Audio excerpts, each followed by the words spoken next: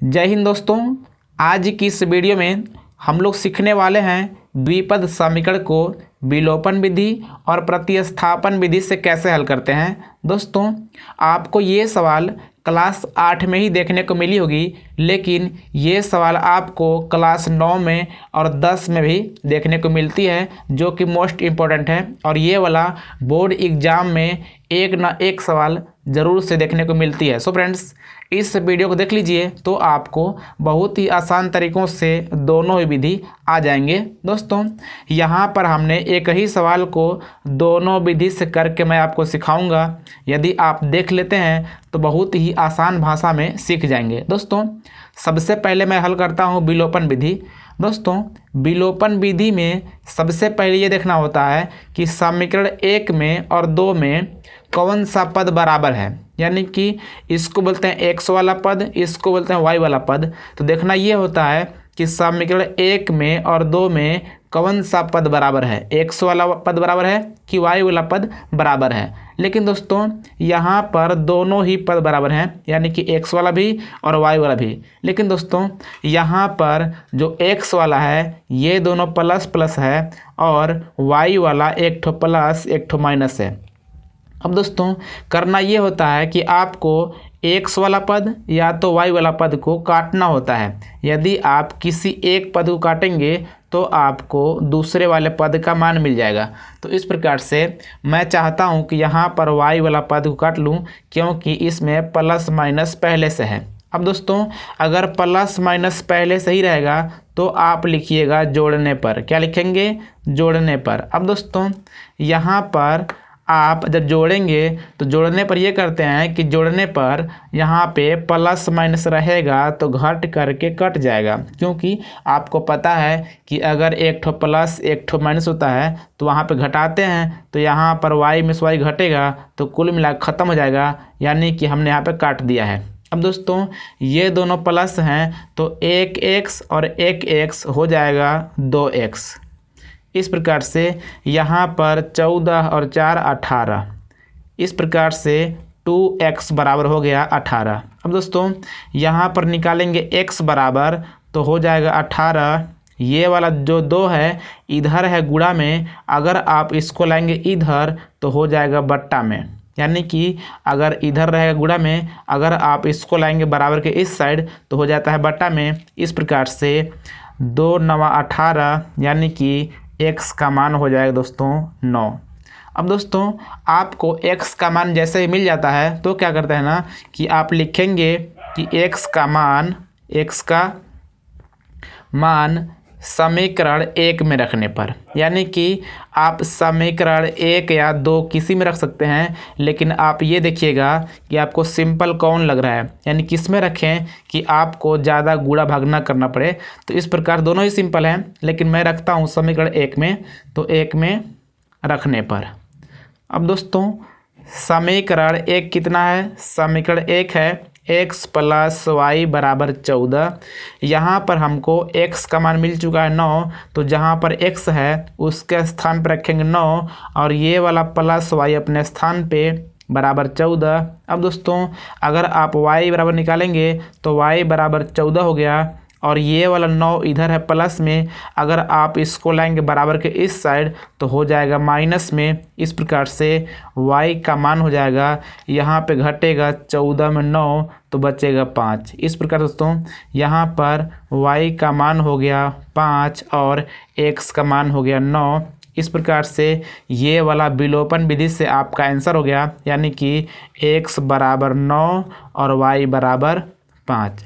अब दोस्तों, हम लोग इसी सवाल को करेंगे प्रतिस्थापन विधि से दोस्तों, दोनों ही विधि में आपका आंसर सेम आएगा, यानी कि जिस प्रकार से यहाँ पर x का मान नौ और y का मान पाँच आया है, उसी प्रकार से यहाँ भी, यानी कि प्रतिस्थापन वाले विधि से भी दोनों का आंसर सेम ही आएगा। मैं अभी आपको करके दिखाता हूँ। दोस्तों इसमें क्या करते हैं ना कि आपको सबसे पहले लिखना होता है कि समीकरण एक से, समीकरण एक से, यानी कि आप समीकरण एक से किसी एक का मान निकाल लेंगे। यानी कि मैं आपको दिखाता हूँ, ये दोस्तों समीकरण एक है। अब क्या करेंगे कि यहाँ पर आप लिखेंगे एक्स बराबर, दोस्तों यहाँ पर चौदह है अब क्या करते हैं ना कि अगर आप x बराबर निकालते हैं तो इस वाले y को ले आएँगे बराबर के इस साइड अब दोस्तों, इधर है प्लस अगर ये वाला आएगा इधर तो हो जाएगा माइनस यानी कि यहाँ पर x बराबर हो जाएगा चौदह माइनस वाई अब दोस्तों, आप ये मान के चलिए कि आपका x का मान निकल गया चौदह माइनस वाई अब दोस्तों, क्या करेंगे ना कि आप लिखेंगे कि x का मान, x का मान समीकरण दो में रखने पर, समीकरण दो में रखने पर, यानी कि अगर आप x का मान समीकरण एक से निकालेंगे तो उसका मान समीकरण दो में रख देंगे।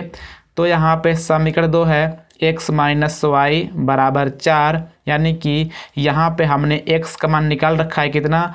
चौदह माइनस वाई तो जहाँ पे एक्स है, वहाँ पे रखेंगे चौदह और माइनस वाई। और दोस्तों, ये वाला माइनस वाई अपने स्थान पे, बराबर चार अपने स्थान पे। यानी कि ये वाला अपने स्थान पे, ये वाला अपने स्थान पे एक्स का मान हमको मिल चुका है चौदह माइनस वाई तो हमने यहाँ पे रख दिया। अब दोस्तों, यहाँ पर माइनस वाई माइनस वाई आपको पता होगा कि अगर दोनों ही संख्या माइनस होते हैं तो वहाँ पे जोड़ देते हैं। और दोस्तों, यहाँ पर एक वाई और एक वाई कुल मिला के माइनस में दो वाई बराबर चार। और दोस्तों, ये वाला इधर है प्लस में चौदह। अगर आप इसको लाएँगे इधर तो हो जाएगा माइनस में चौदह। अब दोस्तों, कुछ लोग ये कहते हैं कि आप कैसे कह दे रहे हैं कि ये वाला प्लस में है? दोस्तों, इसके सामने देखते हैं। यानी कि किसी भी संख्या के आप सामने देखेंगे, जो चिन्ह रहेगा, उसी को मानते हैं। यहाँ पर देखिए, इस वाले y के आगे माइनस था तो हमने माइनस में y बोला। यहाँ पर भी इसके सामने माइनस है तो हमने माइनस में y बोला। यानी कि इन दोनों को y बोला। लेकिन दोस्तों, चौदह के सामने, यानी कोई भी चिन्ह ना हो तो वहाँ पे दोस्तों, क्या बोलते हैं? प्लस बोलते हैं। तो इस प्रकार से ये वाला प्लस में था। अगर आप इसको लाएँगे इधर तो हो जाएगा माइनस में। अब दोस्तों, यहाँ पर हो जाएगा माइनस टू आई बराबर। दोस्तों, चार के सामने भी कोई चिन्ह नहीं है तो ये वाला प्लस में है और ये वाला माइनस हो गया। तो आपको पता है कि प्लस माइनस हमेशा घटाते हैं। अगर आप चौदह में घटाएँगे चार तो बचेगा दस। और दोस्तों चिन्ह रहेगा माइनस का, क्योंकि अगर एक संख्या प्लस और एक संख्या माइनस होता है तो वहाँ पर घटाते हैं और चिन्ह उसका लिखते हैं जो बड़ा है। तो दोस्तों, यहाँ पर बड़ा है चौदह और ये वाला माइनस में है तो यहाँ लिखेंगे माइनस में। अब दोस्तों, y बराबर हो जाएगा माइनस दस बट्टा में माइनस दो। यानी कि ये वाला माइनस दो गुड़ा में है। अगर आप लाएँगे इसको इधर तो हो जाएगा भाग में। इस प्रकार से यहाँ पर जब काटेंगे तो माइनस माइनस प्लस और दो पच्चे दस। यानी कि y का मान निकल गया दोस्तों कितना? पाँच। अब दोस्तों, इस प्रकार से यहाँ पे y का मान निकल गया। अब दोस्तों, आप लिखेंगे कि y का मान, y का मान, दोस्तों यहाँ पर आप इसको समीकरण तीन भी मान सकते हैं। तो आप लिखेंगे कि y का मान समीकरण तीन में तीन में रखने पर रखने पर। दोस्तों एक्स बराबर चौदह माइनस वाई है ये वाला। ये वाला कितना दोस्तों? एक्स बराबर चौदह माइनस वाई और दोस्तों एक्स बराबर हो गया चौदह अपने स्थान पे वाई का मान मिल चुका है पाँच तो मैं रख देता हूँ पाँच यहाँ पर। और दोस्तों, यहाँ पर एक्स बराबर हो जाएगा, चौदह में घटेगा पाँच तो बचेगा नौ। और दोस्तों, यहाँ पे हमने वाई का मान भी निकाल लिया था, कितना? पाँच। तो इस प्रकार से इसका भी मान x का मान नौ और y का मान पाँच आ गया। दोस्तों, उम्मीद करता हूँ कि आपको ये सवाल भी बहुत ही आसान भाषा में और आसान तरीक़ों से समझ में आ गई है। अगर आई हो तो इस वीडियो को प्लीज़ लाइक करके चैनल को सब्सक्राइब कर लीजिए और बेल आइकन प्रेस कर लीजिए ताकि आपको ऐसी वीडियो आगे भी मिलती रहे। सो फ्रेंड्स, मिलते हैं अगली वीडियो में।